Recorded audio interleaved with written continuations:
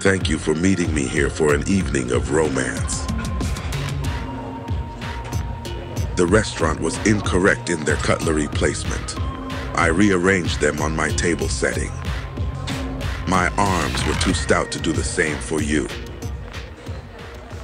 You will discover that is not the only stout appendage I have.